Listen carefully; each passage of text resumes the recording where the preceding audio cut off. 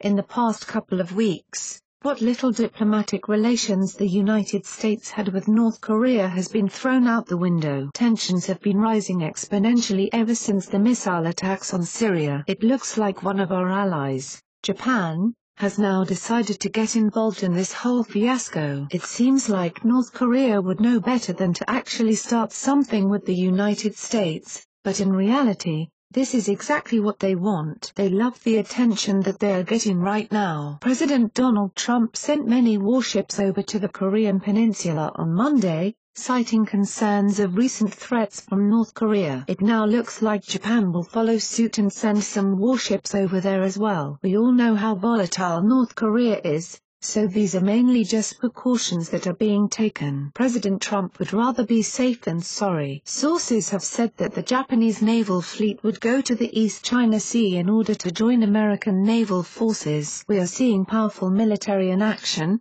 Ladies and gentlemen, this is what President Donald Trump promised us if he won the election, that he would be a stern president that played games with no one. North Korea has responded with many baseless threats about how they are ready for war and even accused the United States of reckless behavior in sending its naval ships to the Korean peninsula. What North Korea does not understand is that, Donald Trump is not messing around. This is no longer Barack Obama's America and if you mess with us, he will be quick to make you pay. Finally we are seeing some tough-nosed policing by Donald Trump. Hopefully he can keep this up. What do you think of Japan joining U.S. forces in the peninsula? What do you think about this comment below? Patriots Agenda helped contribute to this report. It's News Exposed signing off.